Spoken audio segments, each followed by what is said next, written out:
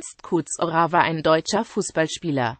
Kuzorra spielte in den 1920er bis 1940er Jahren für den FC Schalke 04 und wurde mit der Mannschaft sechsmal deutscher Meister und einmal Chammer-Pokalsieger. Zusammen mit seinem Schwager Fritz Zepan schuf er den sogenannten Schalker Kreisel. 1950 beendete er mit 45 Jahren seine aktive Laufbahn als Spieler. Leben Kuzorra, Sohn des aus Masuren stammenden Bergmanns Karl Kuzorra und seiner Frau Bertha, arbeitete nach seiner Schulzeit zunächst auf der Zeche Consolidation, bis er sich ab Mitte der 1920er Jahre ganz auf den Fußball konzentrierte. 1926 stieg der Klub in die damals höchste westdeutsche Spielklasse auf.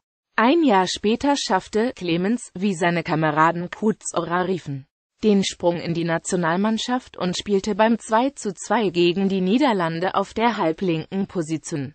1928 war der Stürmer bei den Olympischen Spielen Amsterdam dabei, kam jedoch nicht zum Einsatz. 1930 wurde seine internationale Karriere aufgrund einer Sperre gegen die Schalker Spieler für ein Jahr unterbrochen.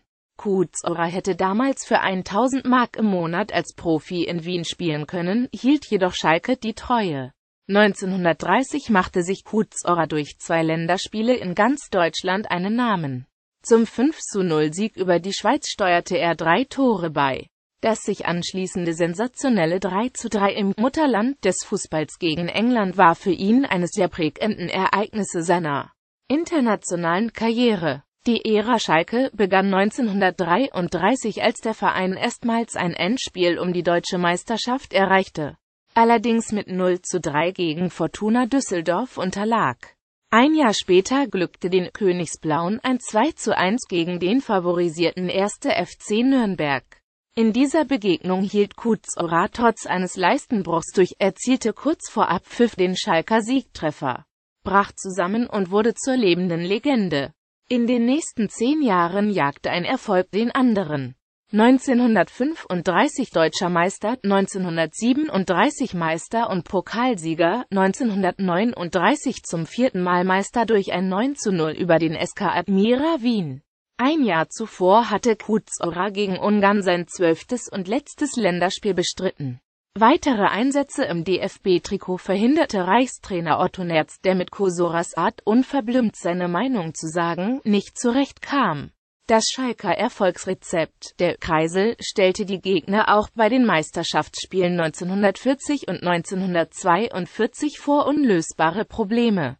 Der Dresdner SC unterlag mit 1 zu 0, im Jahr darauf verlor Schalke mit 3 zu 4 gegen den SK Rapid Wien. Bei Schalkes sechsten Titel zog Vierne Wien 1942 mit 0 zu 2 den kürzeren. 1935 36. trainierte Kuzorra den heutigen Schalker Erzrivalen Borussia Dortmund. Er vertrat dabei den offiziell ersten professionellen Trainer Fritz Thelen. Ebenfalls ein ehemaliger Spieler des FC Schalke 04 und eine Schwager Kusoras. Zur damaligen Zeit gab es die Rivalität zwischen beiden Clubs noch nicht im heutigen Maße und Kuzorra selbst hatte verwandtschaftliche und freundschaftliche Beziehungen in das Dortmunder Bursigplatzviertel. Von 1942 bis 1946 trainierte Kuzorra die SPV GG Erkenschwich. Er erreichte mit ihr die Gauliga, die damals höchste deutsche Spielklasse. Von Juni 1949 bis 1951 trainierte der zwölfmalige Nationalspieler Borussia Höckelhofen eine Mannschaft in der Rheinbezirksliga. Trotz seines Trainerscheins nannte sich das Schalker Idol lediglich Berater. Ein letztes Mal nahm Kuzorra in der Saison 1969-70 als Trainer auf der Schalker Bank Platz. Er fungierte als Strohmann für Slobodan Zendik, der Rudi Gutendorf abgelöst hatte, aber noch keine DFB-Lizenz besaß. Sowohl Kuzorra, der gleichermaßen genialer Spieler wie vorbildlicher Kämpfer war, als auch sein Vereinskamerad und Schwager, Fritz Zepan hatten Mitte der 1940er Jahre den Zenit ihres Könnens überschritten. Sie halfen nach Ende des Zweiten Weltkriegs noch beim Neuaufbau der Schalker Mannschaft in der westdeutschen Oberliga. Kuzora war noch bis Ende 1948 aktiv und nahm zwei Jahre später gemeinsam mit Fritz Zepan mit einem Spiel gegen Atletico Mineiro in der Schalker Glück auf Kampfbahn offiziell Abschied. Am 19. April 1971 wurde Kuzora in der WZ mit der Kritik zitiert. Das 0 zu 1 der Schalker am vorangegangenen Samstag gegen Arminia Bielefeld sei eine schwache Schalker Vorstellung und ferner keine 18 deutsche Mark für die Tribünenkarte wert gewesen. Später stellte sich heraus, dass eben dieses Spielergebnis für 100.000 deutsche Mark Bestechungsgeld gekauft worden war. Ein Schlüsselereignis im sogenannten Bundesliga-Skandal.